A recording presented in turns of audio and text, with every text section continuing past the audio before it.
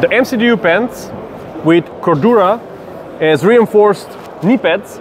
You can put the internal knee pads inside. It has the stretch material behind the knee. You can adjust it for the proper height. This is the ventilation pocket. So if you're hot, you can open it up. It has reinforcements for the knife, a lot of different uh, pockets. And here you have the stretch material in the groin area and behind it. So it's comfortable. You can run, you can move unobstructed. Really good pants from Helikon Tex.